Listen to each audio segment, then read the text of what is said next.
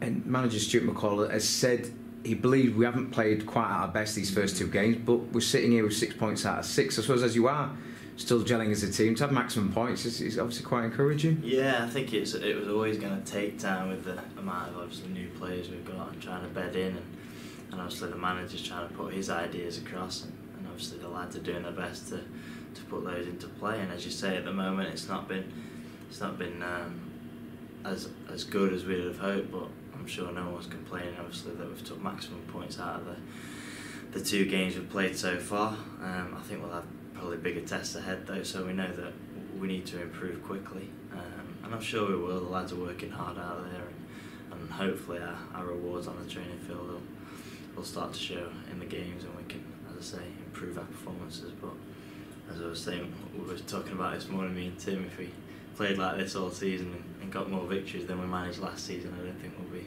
we'll be too upset. Yeah, is that the thing? You, you look at that Gillingham game we've arguably played better in games last season and drawn them. Yeah. Whereas obviously this season we, we've got the win. I suppose it's all about at the end of the day, really, it's all about getting those results, really. Yeah, of course it is. That's obviously the what we're doing it for. It's a, it's a, a results industry, and um, no, we're delighted that, as, as we say, that not at our best, we've still managed to pick up the two victories. Um, you could argue maybe one of our better performances was probably the Doncaster game. That was the one we lost. So. Um, no, it's it is. It's and as I, as I say, there we're not too concerned at the moment as long as you are picking up the victories. But I'm I'm sure that the performances will will um, follow that. Um, and of, of course we've got a, we've got a really tough game at the weekend, and, and we we spoke about it that we'll we'll need to be better than we have been if we if we want to win this one. I think.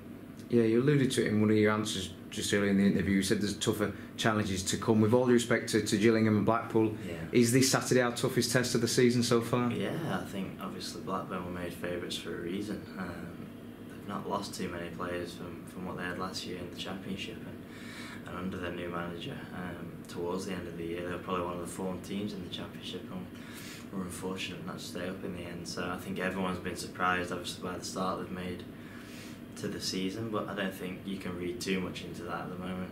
Um, you know, have to look at obviously Sheffield United last year, the way they started, probably in a similar fashion.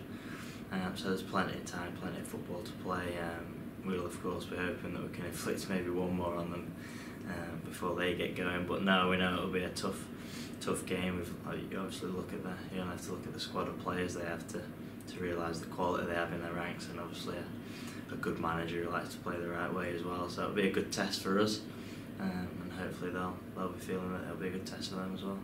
And